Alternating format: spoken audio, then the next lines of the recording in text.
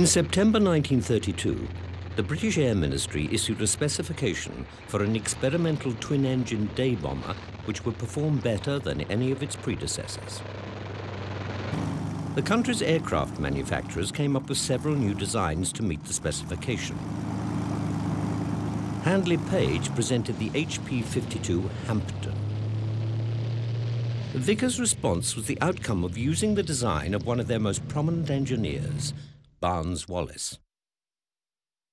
Barnes Wallis had been responsible for designing the structure of the R100 airship whilst working for the Vickers subsidiary, the Airship Guarantee Company. Wallis had pioneered the geodetic method of construction. Metal members crisscrossing each other to form a lattice framework. This new airframe proved to be immensely strong. At the time of the Air Ministry specification, Wallis had been joined by another prominent designer, Rex Pearson. Together, these two designers had produced the very first geodetically constructed aircraft, the Vickers Wellesley. The Wellesley, a two-seat bomber weighing less than three tons, was a small aircraft, but the success of its geodetic structure led to it being developed for use in a much heavier type. Norman Boorer worked under Barnes Wallis on the Wellington's design. Working with Barnes Wallis was uh, quite an education. He was quite a, a, difficult chap. On the other hand, he knew what he was doing and uh, he was a very good engineer. He needed perfection. Of course, he wasn't the chief designer at the time. His boss was Mr. Rex Pearson. But Barnes Wallis was really the man in charge of the structure side of the aeroplane. He had originally been with airships many years before, and he knew what he was doing. He appreciated life and interesting things other than aeroplanes. He was quite interested in most hobbies and things like that. He was an artist, so he was, he was a very good draftsman, he was very good on the drawing board. So there was a lot in common, really, with anybody tied up with design. To meet the Air Ministry specification, Vickers submitted a mid-wing monoplane one which made full use of the geodetic structure. It was designated as the Type 271.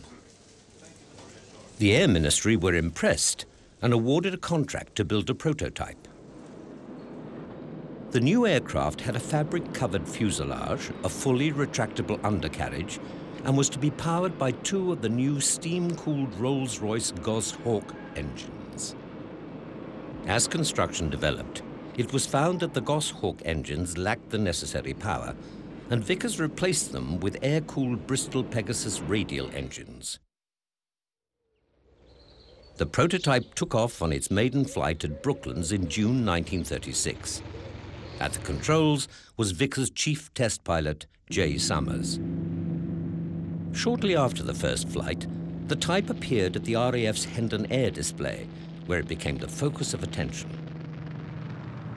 Following a subsequent series of official trials, the Air Ministry finally placed an order for 180 aircraft. They were to be built according to a new production specification based on the prototype. Major changes were made to the fuselage section and also to the undercarriage layout. In December 1937, following the new improvements, the Wellington Mark I made its maiden flight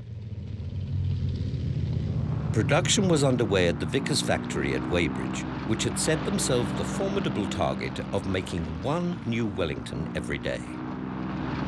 However, this was soon surpassed as further orders flooded in from the Air Ministry. New factories were built at Chester and another at Blackpool. Together, these two plants would raise the construction target to over 180 aircraft a month. At the peak of production, all three factories managed to turn out a combined total of 300 aircraft in a single month. As production continued, more modifications were made to improve the aircraft's performance and efficiency. During World War II, the Wellington went through a number of changes and improvements, producing different variants from the Mark I to the Mark X. The designers made use of the more powerful engines being produced, these ranged from 850 to more than 1,600 horsepower. In addition to the Bristol Pegasus, the designers also used the Bristol Hercules and Rolls-Royce Merlin engines. These changes, combined with the strength of the aircraft's geodetic structure, enabled the Wellington to carry ever-increasing bomb loads. The wartime Wellingtons were almost twice as heavy as the initial prototype and could subsequently carry a much higher bomb load than first envisaged. Carrying a six-man crew with a full load of fuel, the Wellington could fly at 15,000 feet for more than 3,000 miles. When laden with a bomb load of 4,500 pounds, the aircraft could still reach 18,000 feet. In addition to the power-operated twin-gun turrets mounted in the nose and the tail, the early Mark Is were also fitted with a ventral gun position housing a third pair of guns. Standard crew consisted of a pilot, a navigator radio operator, two gunners, and a bomb aimer. The RAF's Bomber Command had first taken delivery of the Wellington in October 1938 to number 99 Squadron at Mildenhall. By the outbreak of war a year later, the crews had completed their conversion to the type and the RAF had six full squadrons in frontline service. When I first saw the, the Wellington, it was really a pre-war aircraft, you know, so it had been dealt, built with, uh, with fair degree of luxury in it. And when you saw the pilot's seat, it was in beautiful green Connolly leather. You've never seen such a comfortable seat in your life. It was brilliant. so it was a real luxury thing. And one became very fond of it as you got more and more hours. I suppose I did about 12 or 1,300 hours on the aircraft. And you do. Uh, I, I, it's a fact of life that whatever aircraft you happen to be flying is your favorite airplane. Must be. Within 24 hours of the outbreak of war, the Wellington saw action. A total of 29 aircraft had taken off from England to mount an attack on German shipping. 15 Blenheims from No. 2 Group were deployed to Wilhelmshaven to attack the pocket battleship Admiral Scheer. 14 Wellingtons of No. 3 Group, meanwhile, mounted an attack on the battlecruisers Scharnhorst and Gneisenau. When the war started in 1939, September the 3rd, we were all ready to go, but for some unknown reason it's cancelled there and, and, put off for 24 hours. At the time, I was a, although I was a, a pilot who could fly the, the, Wellington, I was gunnery control for the formation of 12 aircraft, which went over Kiel Canal on that first bombing raid of the war. And I was in with uh, my, my own assistant flight commander, um, but otherwise, there was no, nobody really special because, after all, it was the first day of the war. Nobody knew anything about fighting, really. I don't think it was a successful mission because we never sank the Scharnhorst, which is what we were waiting for. We saw it. Presumably some bombs hit it, but we obviously didn't sink it because we had to go and bomb it again another day. Two Wellingtons and five Blenheims were shot down in this, the first daylight raid, and although some of the bombs hit their target, none of them actually exploded. Five days later, on December the 18th, another group of 24 Wellingtons took off for an unescorted reconnaissance mission of Wilhelmshaven and the Schillig roads. Warned of their approach by ground radar, the Luftwaffe were laying in wait for them. The German fighters intercepted the bombers and attacked in force. They flew in from above the stream, which meant that the Wellingtons, with their underbelly gun positions, were virtually defenseless. Ten of the bombers were shot down, and of the remaining 14 that returned, a further three were badly damaged. It was no use at all, because they, the Germans had radar, they could see us coming, it, with the radar. They could see us coming physically because it was a beautiful day, rather like today, cold, sunny. And uh, the stable platform of the Messerschmitts against the turrets of the Wellington weren't a feasible proposition. I think about half the Wellingtons were shot down, and uh, it cured the Air Ministry of thinking you could fight your way through, almost. But they kept having a little nibble at it. And after I came back from being from Germany uh, as a prisoner and so on in 1945, uh, I had lunch with my group captain, who was then an air marshal. And he said, You must have thought we were mad sending you out without fighter escort. And I said, Yes, I did. He said, We just wanted to find something out.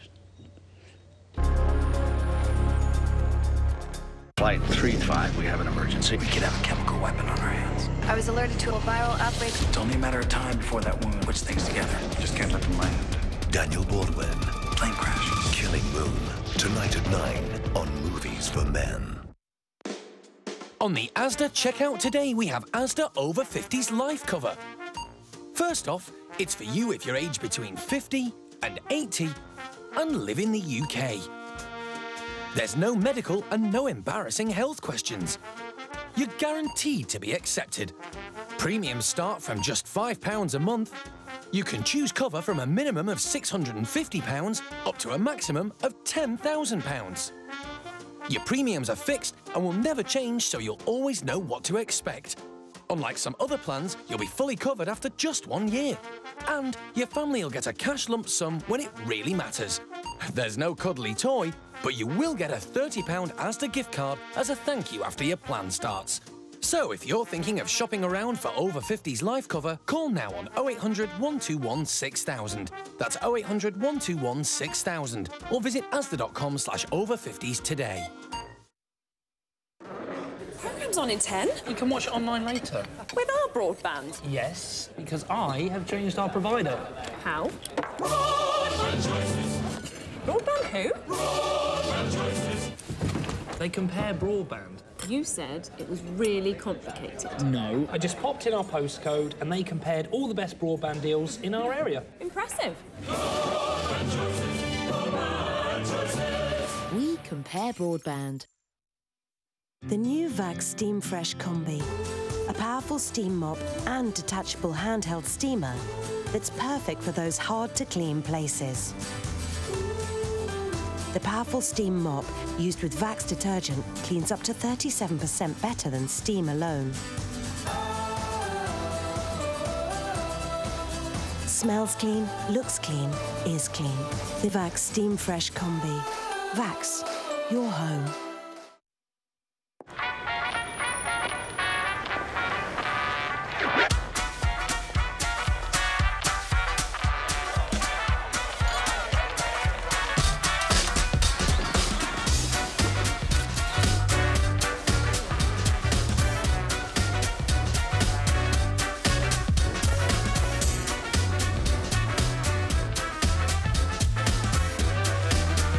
The new spring collection from isme.com.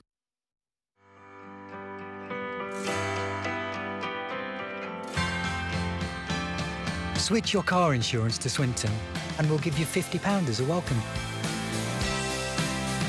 We always work hard to find great deals for our customers. Just call us on 0800 116 4053 and we'll give you a £50 welcome when you switch your car insurance. Talk to us on 0800 116 4053 in a high street branch or visit our website. If your boiler's on the blink, you can rely on the British Gas Team. From just £16 a month, our engineers will come to your rescue. They can be called out as many times as you need. Parts and labour are included. There's an annual service, and customers rate our service 4.5 out of 5. So, for our team to come to your rescue, call British Gas on 0800 316 5000. What's the big deal about topcashback.co.uk? We thought we'd let our members explain. Saw a great TV and broadband package the other day with £150 cashback. Money back on all my online clothes shopping. Buy everything I need on there and get money back. The single best thing with Top Cashback is it's easy money and no dramas. Always remember to use Top Cashback when you shop online. That way, you get a bit back when you spend. Top Cashback, top side. Two million members earn money with Top Cashback. Don't miss out. Join today. Topcashback.co.uk. Money back when you shop online. All the things you love about movies, found in one place. Every afternoon.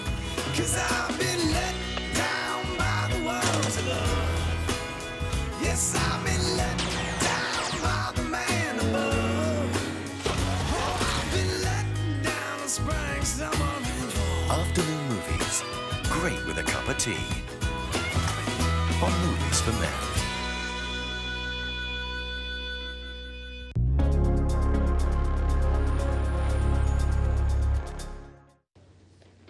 The Vickers built turret, which was quickly replaced in the Mark 1A by a Frazer-Nash turret at each end, both carrying two 303 Browning guns, and also a uh, turret in the centre of the aircraft, which was lowered down underneath, a mid-under turret. And uh, that was the original defensive armament. Not long after they'd been operating with the Mark 1A and just starting with the Mark 1C, I think most uh, air commanders realized that the defense at the center was not very good. The uh, gun turret itself, which was lower down, had two Brownings in it, but it only operated underneath the aircraft. Uh, it was not easy for the gunner to uh, uh, decide his deflection and things like that. And also, it was quite heavy.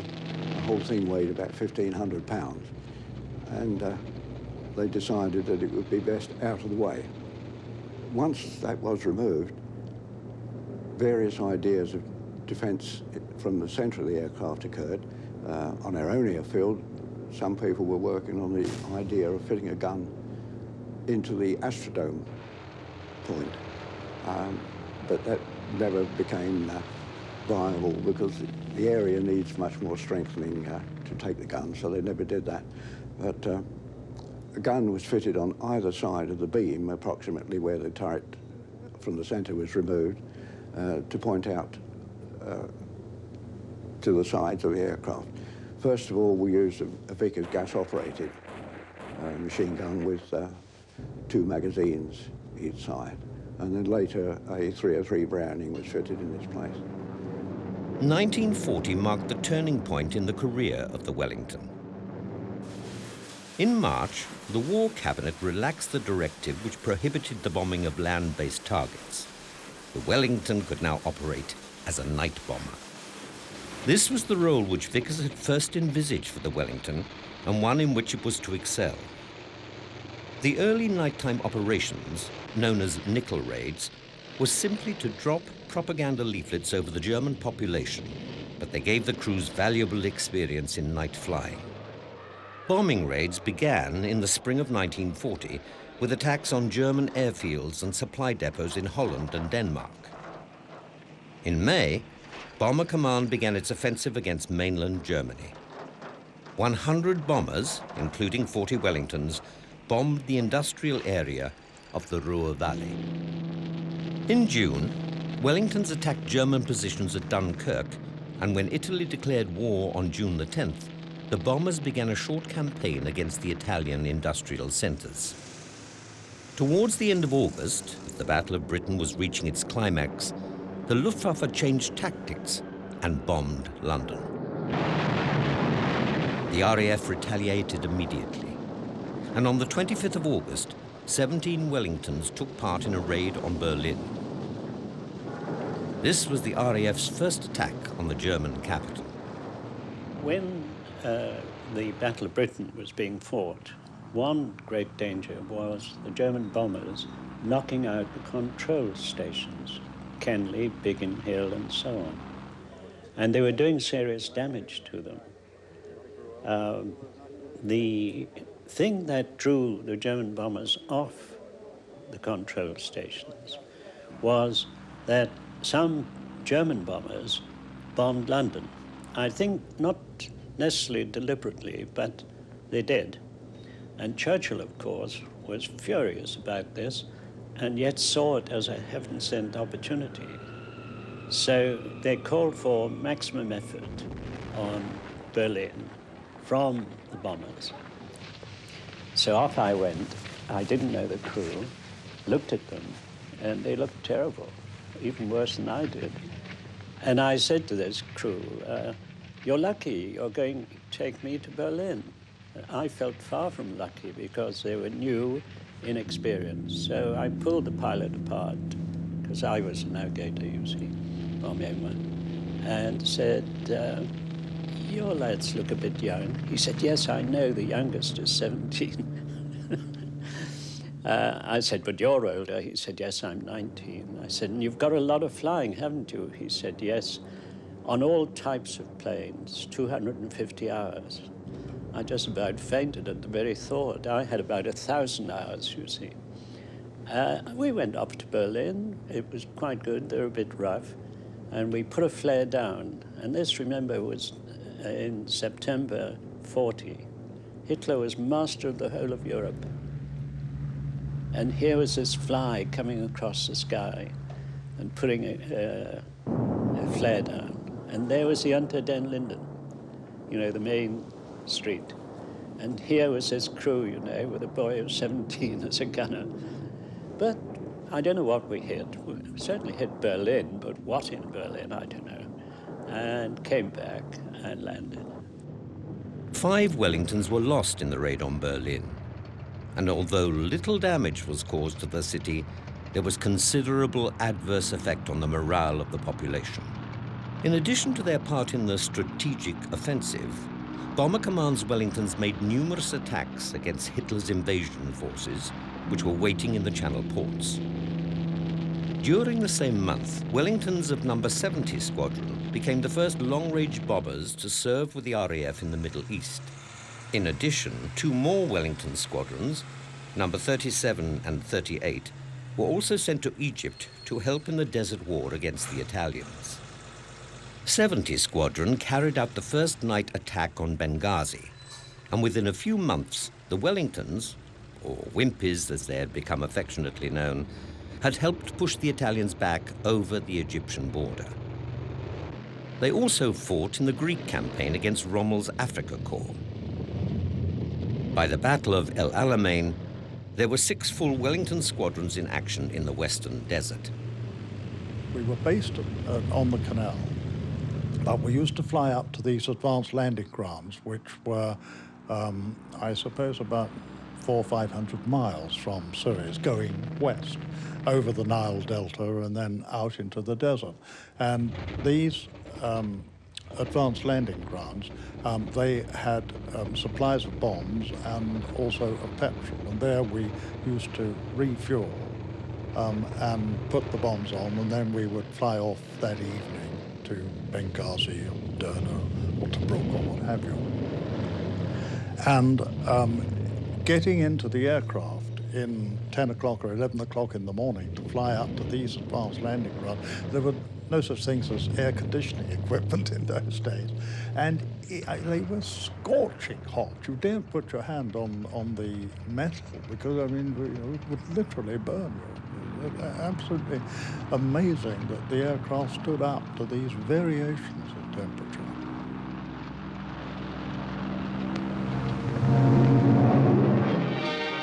The Wellington appeared in several wartime propaganda films, the most noticeable being the film Target for Tonight. This was the story of a typical bombing raid over Germany, following the mission from the early planning stages through to the final debriefing after the raid. Although it was based on a fictitious squadron flying from an equally fictitious airfield, the lead role was played by a 149 Squadron Wellington, F for Freddy. As the Wellington's wartime career gathered momentum during 1940, Vickers were producing 140 aircraft per month.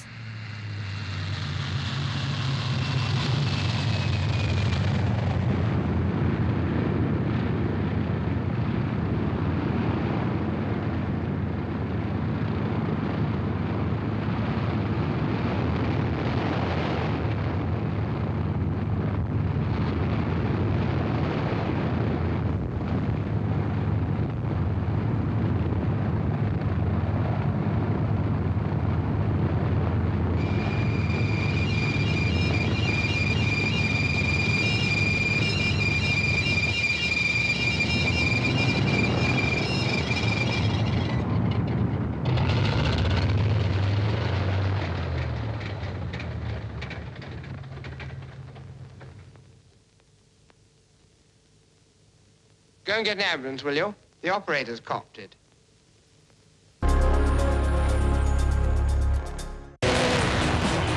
Like action. You'll love this.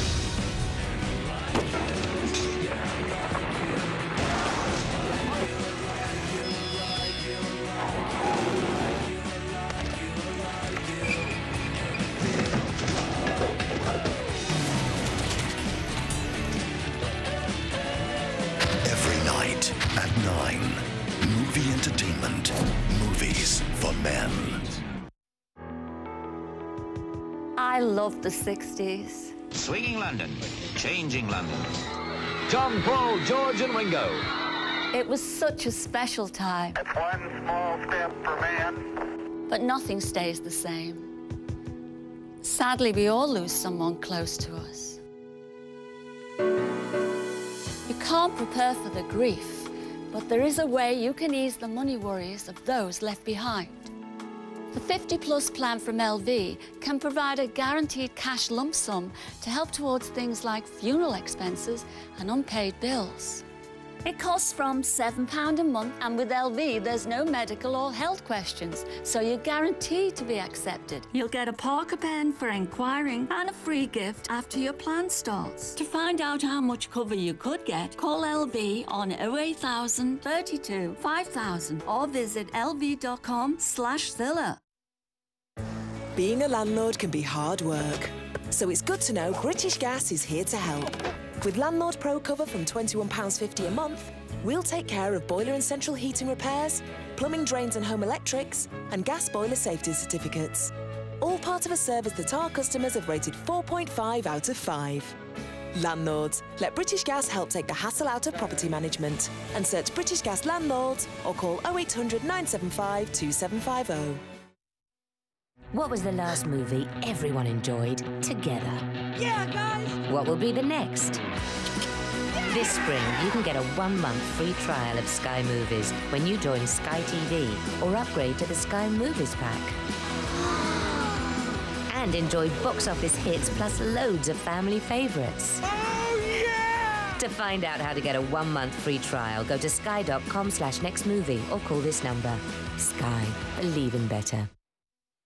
So this is us by the sign. Everyone does it. nice. This is us getting our travel insurance. Nice shirt, Rob. Uh, when we met this lovely chap, Esteban. Esteban. That's him, getting his insurance for his motorbike. And there's one of the three of us, look. and his deal even covered passengers. So I said, yes, please. Didn't I, Rob? Yeah. Didn't I? Do you Yeah. remember what you said? Look at him. Oh, hang on, please, don't leave me. From travel to motorbike insurance, visit Go I Compare. thought you deleted that.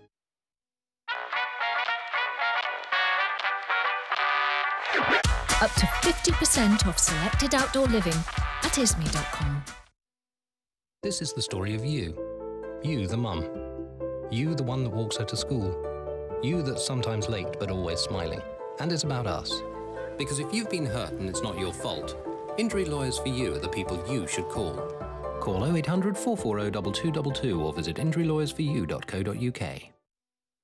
At Amigo, we think it's time for a different kind of loan, where people who've been turned down by the bank could borrow up to £5,000 with affordable repayments. Where you simply need a guarantor, and where there are no fees. You can pay back early, no problem. With a representative 49.9% APR variable. Come to amigoloans.co.uk, the all new good old fashioned loan. £169. That's how low our car insurance prices start from for great drivers like you with five years no claim discount. Because LV guarantee that your NCD will be a whacking 75%. For car insurance from a which recommended provider mind, from as little as £169, call our lovely people on 0800 066 5228 or go to lv.com. Flight 3-5, we have an emergency. We could have a chemical weapon on our hands. I was alerted to a viral outbreak. It's only a matter of time before that woman puts things together. Just can't let them land. Daniel Baldwin. Plane crash. Killing Moon. Tonight at 9 on Movies for Men.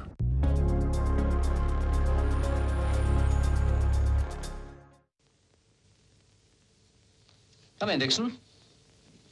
I hear you made a nice landing. I hope we haven't kept you waiting, sir. Good Lord, no. Come and sit down. Well, how'd you get on? Well, we did a low-level attack. We were over the target at 2345. Bombs were dropped at 2353. Uh, the, the first four bombs, I'm afraid, fell short of the target. But the, the last one was a, a direct hit. and that was the big one. Yes, there's a smasher right onto it. Caused a hell of a great big fire. Buckets of smoke. Visible, ooh, 50 miles away. Near 90, I should say. What colour? Dullish red with black smoke. Hmm, that sounds like oil, all right.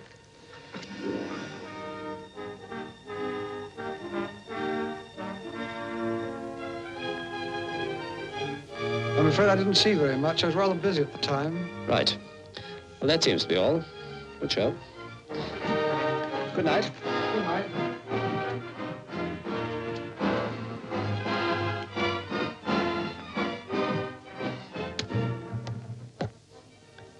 Group intelligence, please. Intelligence militant speaking. Tonight's operations. Objective was reached and heavily bombed. Large fires and explosions were seen. All our aircraft returned. I'll send you details in the morning. Good night.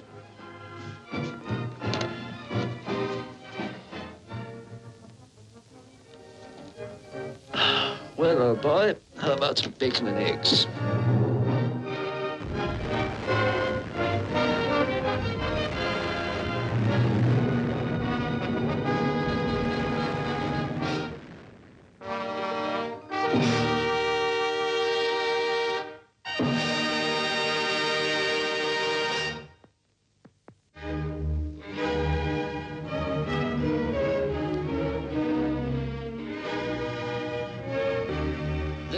Bomber factory in Britain. The workers have arranged with their management and their joint production committee to build a bomber in the record time of 30 hours. Another film from the Ministry of Information was made to highlight the need for rapid production. In Workers' Weekend, a construction team from one of the three Vickers factories set themselves a target for producing a fully operational bomber in less than 30 hours. Narrated by an officer of the Royal Canadian Air Force, the film illustrates the effectiveness and simplicity of the geodetic design. Everybody had the feeling? Well, here we go. So we all took a deep breath and got set for 30 hours of non-stop real hard work. The clock strikes nine and the record-breaking attempt begins. Two sections of the fuselage are carried in. The dark girl with the riveter there is Eileen Daphne, who used to work in a rayon factory. One of her brothers was killed in a naval action a little while back. The fuselage parts are assembled in big frames they call jigs. These volunteer workers are giving the bonus they're earning today to the Red Cross Aid to Russia Fund. And they're out to break that 30-hour record they've set themselves. You can get some idea now of the size of the bomber. It's almost 65 feet long. Here is Evelyn Coates, an inspectress who used to work in a draper's shop. She told me at this point that she had found no faults at all. The workers were not only doing the job fast, but their work is perfect, too. Across the factory and the wing assembly, there is more activity under the eagle eyes of the inspectors. Though you may not think they're working fast, the progress they are making speaks for itself. For it's only 10 o'clock, one hour from the starting time. Grace Wally and Hilda Dodd are doing a man's job of work, assembling the bomber's cabin heater. Back in the main assembly, the wooden floor is fitted to the fuselage. Notice how everything fits with precision. There's no bullying the parts together. One fits willingly with the other. The forward bulkhead frame goes in, and then the pilot's seat, control column, and the cockpit floor all in one unit. And how's the time going? Well, they've been working one hour and 17 minutes. Testing the flaps on the wings is Eva Williams, a nurse by profession, testing fractures in tubes instead of in bones. There's our chief cameraman, Chick Fowle, trying to keep up with the work. The short, dark girl assembling the ailerons is 23-year-old Evelyn Homewood, whose husband is in the Royal Air Force. She was one of the first five women to work in this plant. At 1027, the foreman gives the word, and into the framework of the aircraft, pile the electrical workers armed with the tricks and the tools of their intricate trade. One of the company test pilots, Gerald Winnie, he was in the Royal Air Force in France before Dunkirk, stood beside me and said ruefully, like a lot of bloody ants, hope they don't forget anything. But he had nothing to worry about. Construction went on, and the inspectors beamed with satisfaction. As you see, it seems to be a welter of wires, pipes, workers, shelves, fabric, and inspectors. But out of the clutter of confusion will emerge the completed fuselage. At 1.45 in the afternoon, the main fuselage is ready to come out of the jig. Let's flip over to the stitching and doping section. The four great sections which give the bomber its 80-foot wingspan are now being covered with fabric. Flashing fingers and winking needles. One wrong move, the needle would hit metal and the point would break. Agatha Hobson and the others who work here know where the stitches go. The fabric is bonded to the metal frame by about 8,000 tiny bolts, and stitches tidy up the edges. Eight stitches to the inch, and that's a whole lot of sewing you're looking at. Back at the fuselage, out at the tail, Vera Butler and her sister Joan worked together all the time. Vera was a lady's companion before she started building bombers two years ago. This is Phyllis Evans, who was in service as a maid before the war. She's one of them fitting the fabric covering over the framework. And here is the process of weatherproofing and strengthening the fabric.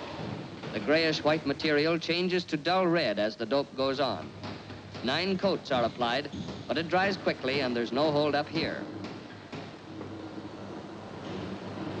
It's a habit in this factory to rather brazenly autograph one's work. So we know that Blondie has had something to do with this bomber. We haven't looked at the power units yet.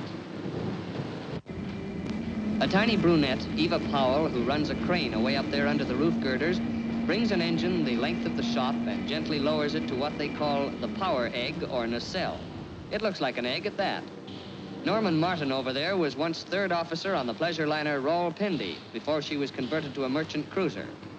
Norman has been working on this type of aero engine for quite a time and thinks it's the finest in the world. The girl with him is Ailsa Grindley, who would rather work on engines than in the confectionery store where she used to work in peacetime. The time has come to bring the component parts together. This means that the various departments are delivering their finished sections to the main assembly. And here they come.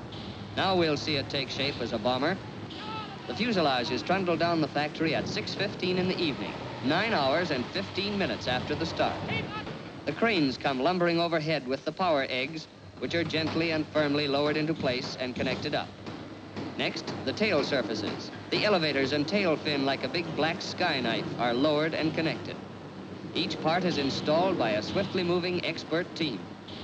This is the bomb beam, like a compact miniature bridge. Look at the speed with which they set the bulletproof petrol tanks into the main planes.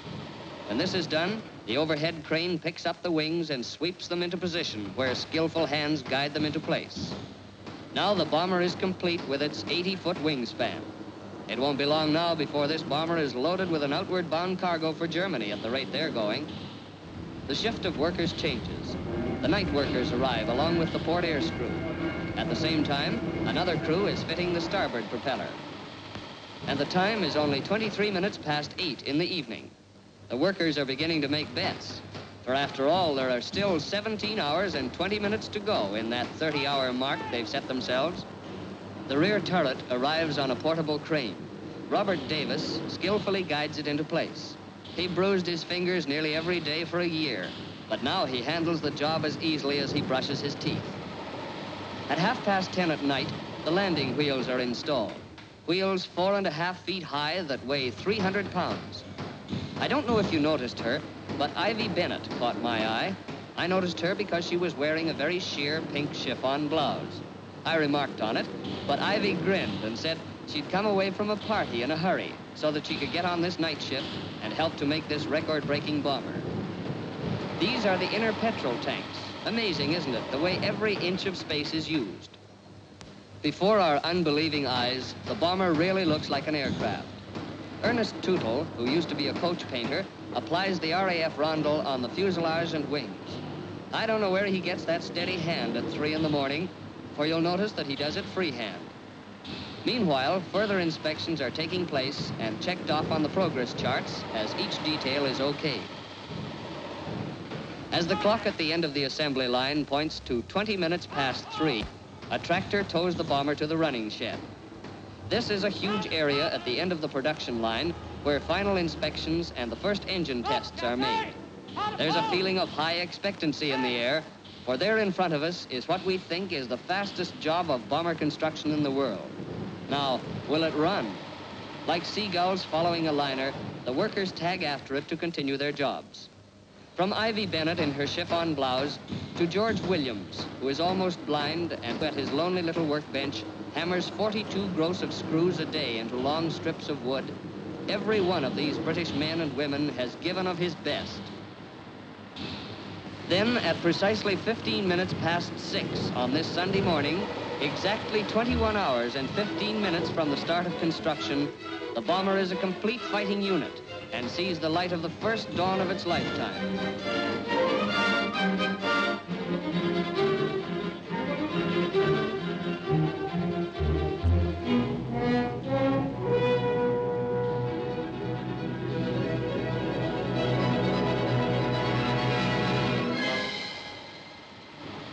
This is a very special occasion.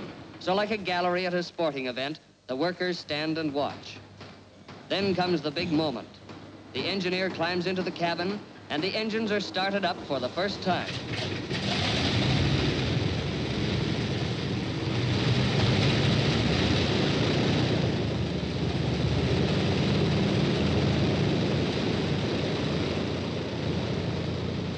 More inspectors swarm about the bomber, prying into every nook and cranny. We all know that time is racing, but still a generator and an air screw need some last-minute adjustments, and there's a final bit of stitching to do. This holds us up almost two hours.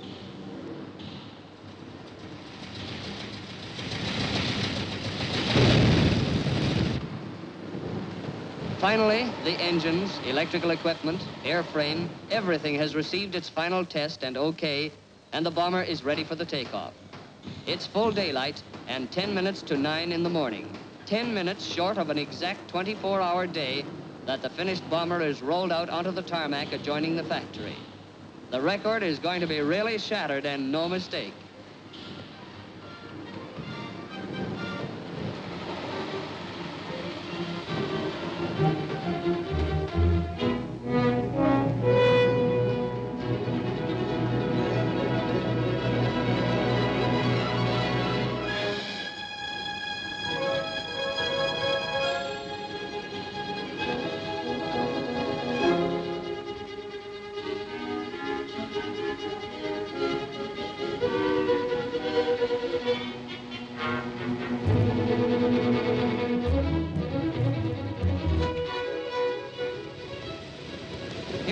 Test pilot, Gerald Winnie, a really amazed man. He was planning to fly the bomber this afternoon. But so fast has this aircraft been completed that they got him out of bed to put the bomber through its paces.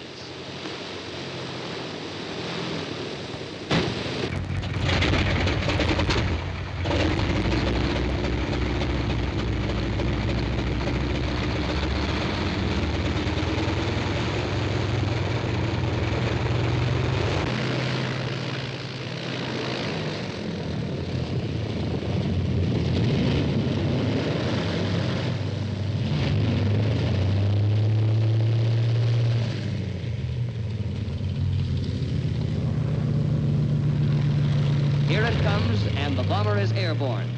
The record? Yes, they broke at those workers. They said they'd build a bomber in their spare time in 30 hours. Its wheels lifted from the ground in exactly 24 hours and 48 minutes.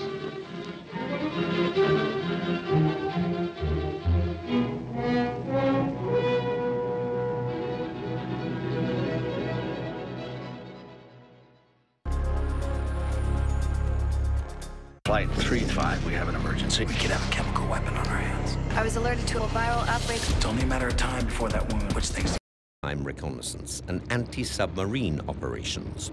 In January, a 48-foot diameter metal hoop attached to the Wellington's fuselage was used as a countermeasure against one of Hitler's new weapons, the magnetic sea mine. The hoop was attached to an electric motor mounted inside the aircraft, which in turn produced an electromagnetic field. If the Wellington flew low enough, the device was strong enough to explode the magnetic mines. Mark I Wellingtons equipped with this device became known as DWIs, meaning Directional Wireless Installations. In 1941, some Wellingtons were used for mine-laying duties, whilst others were used by Coastal Command as torpedo bombers. In the U-boat war, a new device called the Leigh Light was developed as an aid to locate the U-boats at night. This powerful searchlight could pinpoint a submarine from up to one mile away. Any U-boat caught in the illumination could then be subjected to an accurate bombing or depth charge attack.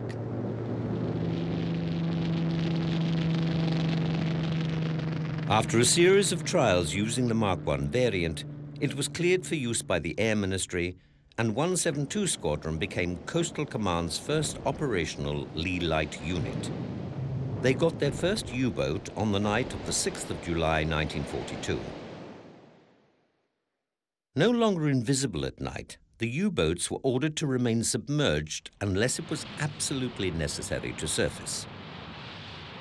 The U-boats once again became elusive to the bombers, and the Wellington's chance of finding them became even more remote.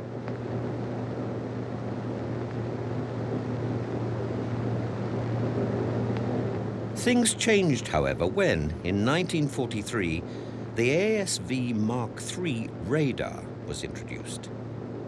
Based on the previous H-2S radar, this new apparatus provided the maritime Wellingtons with an effective long-range night detection system. By 1945, more U-boats had been destroyed by aircraft using this radar than by surface vessels, and the Wellington crews could claim 26 of them. In 1941, a modified Wellington became the first aircraft to drop the new 4,000-pound blockbuster bomb. Again, designed by Barnes Wallis, the first bomb was used in a raid on Emden during the night of April the 1st. Also in 1941, Sergeant James Ward of the Royal New Zealand Air Force became one of the first Wellington airmen to be awarded the Victoria Cross.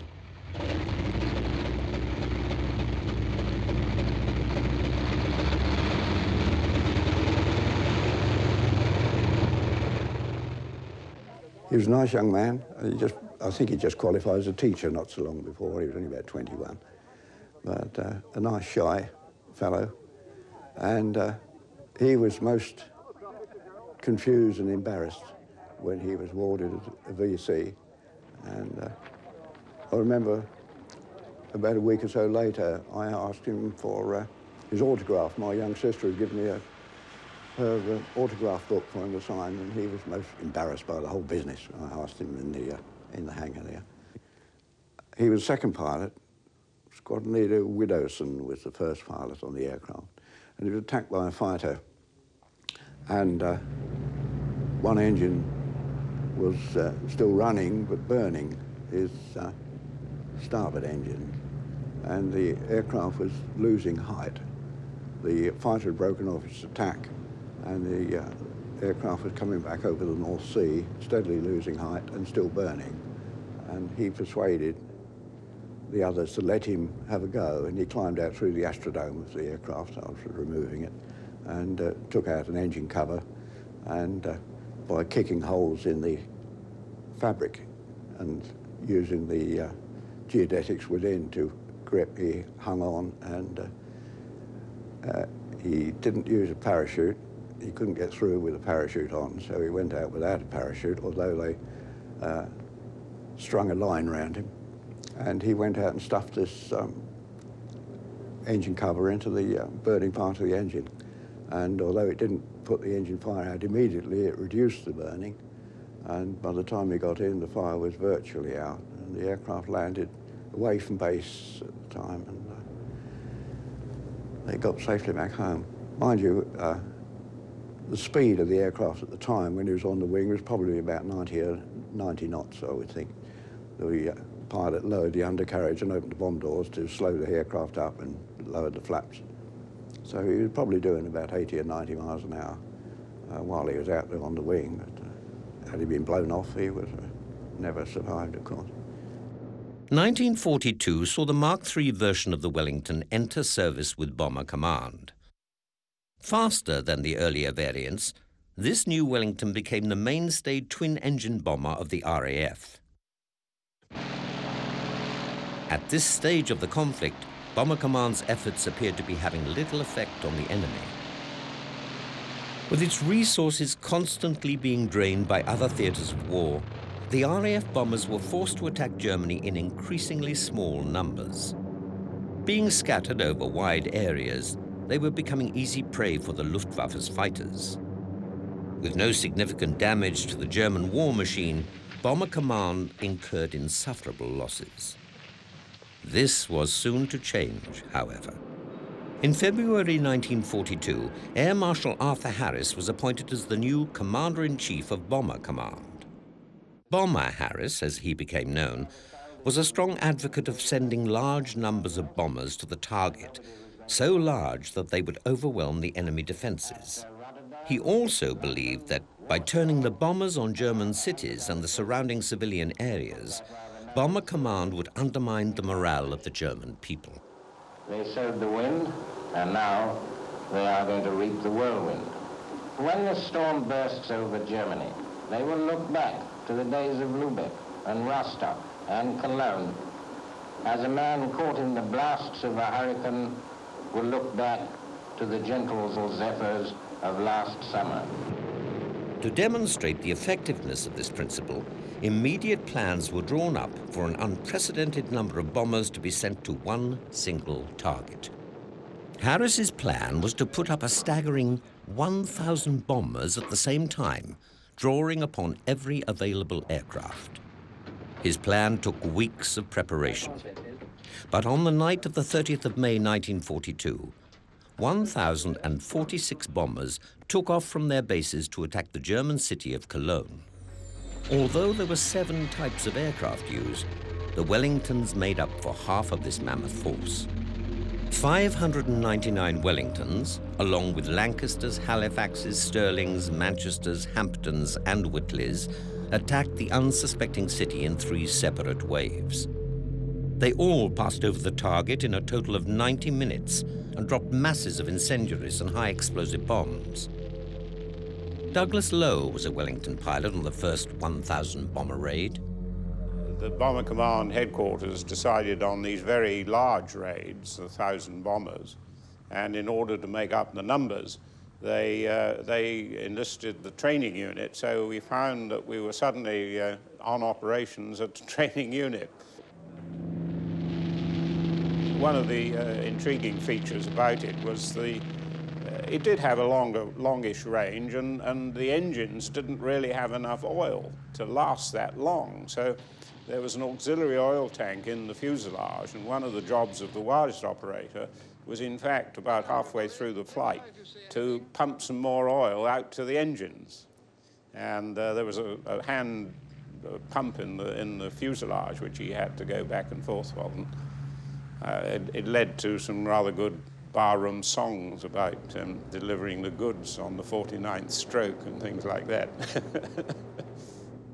I mean, the flak was something you, you saw and heard and uh, tracer and bullets, but the thing that really worried you was really the night fighters, which um, once you had a big stream of uh, bomber aircraft going towards a particular target, once you they had determined what the target was, because you tried to route the aircraft to, to deceive in that sense. So you suddenly dart off at the last minute and turn 90 degrees and go for Essen or something like that, Hamburg.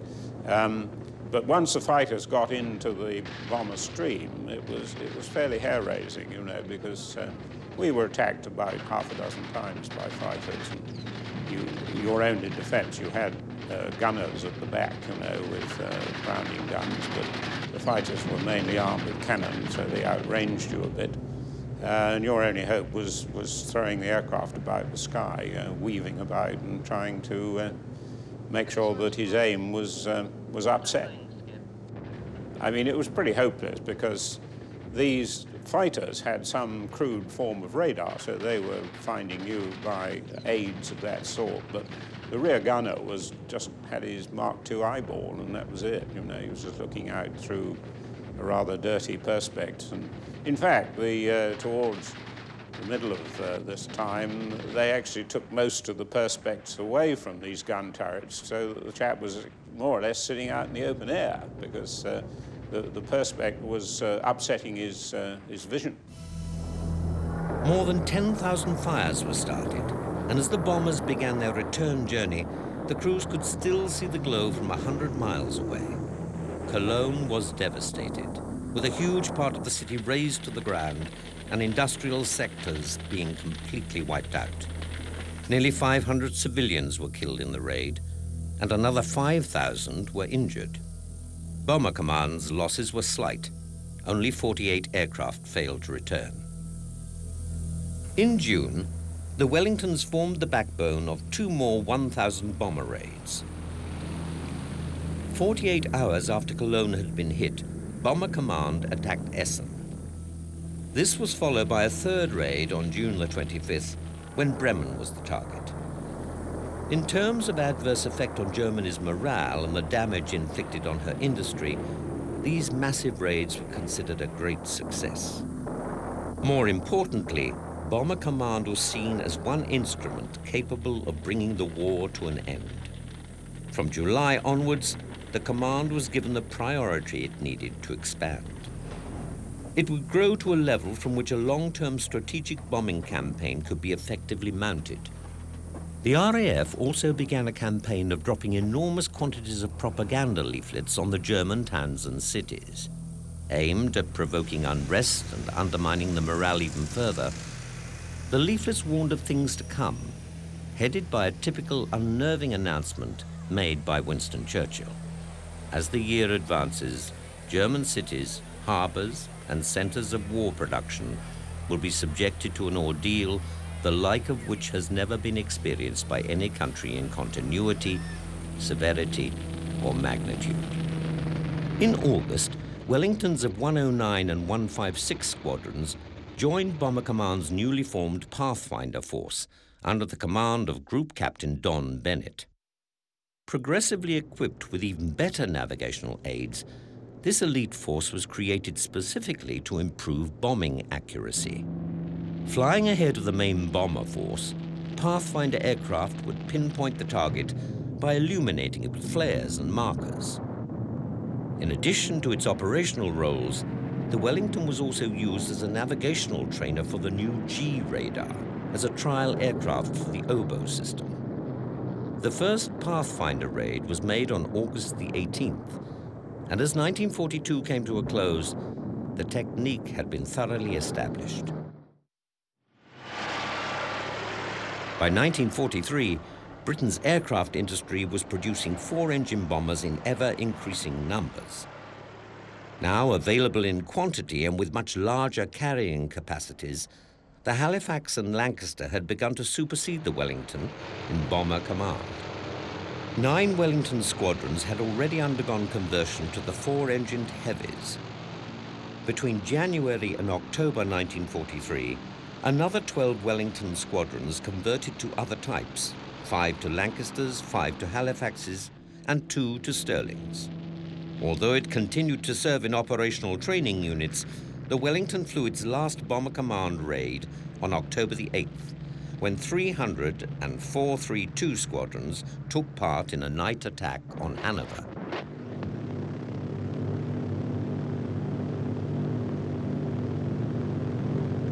Bomb doors open. Bomb doors open. Left, left. Steady.